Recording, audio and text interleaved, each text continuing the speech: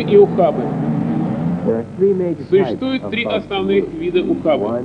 Первый образуется в результате прохождения мотоциклами трассы, торможения и рывков.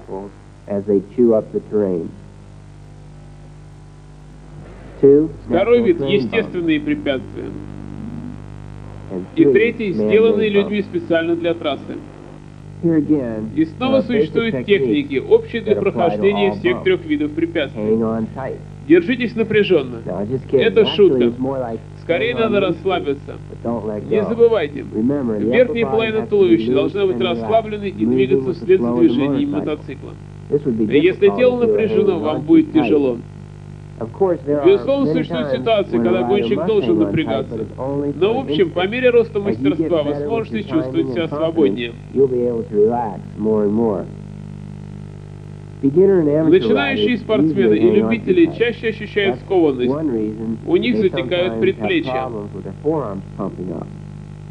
Если даже хороший профессионал не может расслабиться, у него происходит то же самое. Затекают предплечья. Поэтому очень важно, чтобы вес тела приходился на педали, а не на руль, особенно при движении по неровному участку. Дайте возможность мотоциклу двигаться самому по себе, удерживайте свой вес над центром. и отклоняйтесь назад, когда заднее колесо попадает на бугор. Вам часто придется тянуть руль на себя, чтобы стабилизировать положение мотоцикла и сохранять сцепление.